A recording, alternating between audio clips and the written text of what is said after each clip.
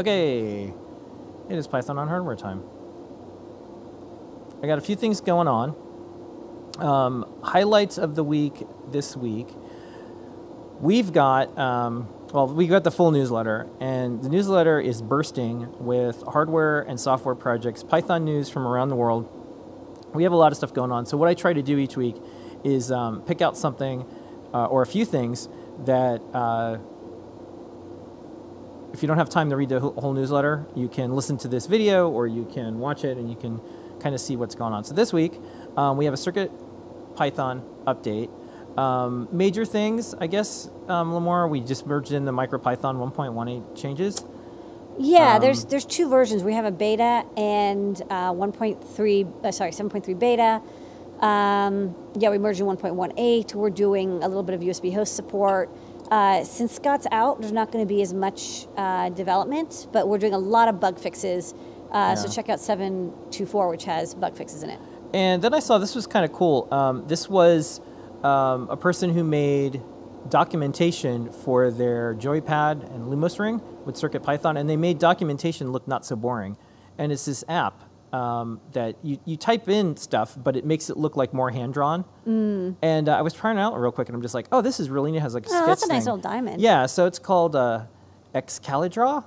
Funny. Um, yeah, so so check it out, and it's in the newsletter. And like these are the type of tips and tricks and things that we also put in there. Like if you wanted to have a flow chart on how the code works, or if you're using um, Circuit Python for ed- education, which a lot of people are um, and you for doing your documentation, you know, you don't have to use like very boring, um, static looking art or graphics. You can mm. you can do something that looks, um, you know, a little bit more interesting. I so. love the look of like a hand sketch. So yeah, and I, I like what this the, the person who is working on this they said. It says it may look a little bit gimmicky, but they like how it softens the otherwise clinical looking content. It's true. It's like yeah, you know we only have a few minutes to inspire someone to to want to code or do something. So anything you can do.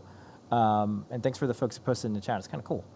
Um, and then next up, this one has been uh, making the rounds. This is Circuit Python Linux, sort of, uh, yeah. on a Pico. So um, this is a, here it is, and uh, it boots up. It's uh, Linuxy, and uh, the GitHub repo is available. And one of the things I like about it is uh, on the the text on the repo. It says, "Important note: Do not take this project seriously. This is not a real Linux." Distribution. It's a kind of fakey, fakey thing, but, yeah. But that's what when Linus posted about Linux, it's like this is not a real Unix distribution. Like this is just a joke. Well, like, that's that's why it's Linux. Yeah. and so if you want, you can go to GitHub and check this out. It's bill88t slash lj uh, l-i-n-u-x Linux. Linux. Linux. Yeah, and then um, another one I thought this was neat. This was over on um, Instructables, and for me, I'm starting to see like projects in the past that would be kind of hard to do, or maybe they would use something. It's like okay, like here's fifty thousand steps to do just one simple thing.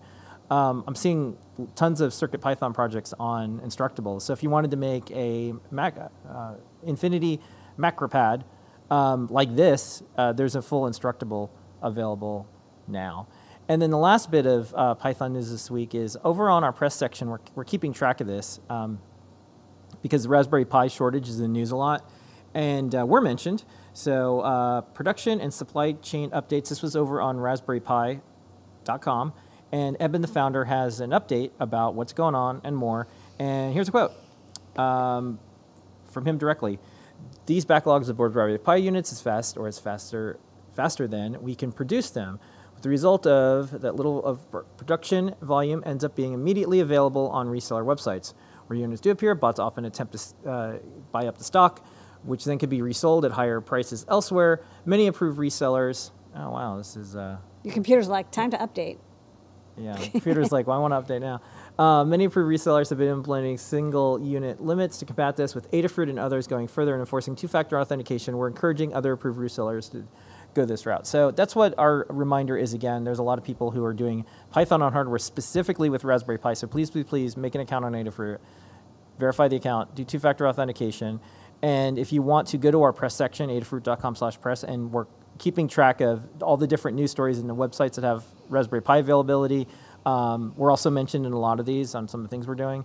So um, that is the Python on hardware news this week. Thank you, Blinka.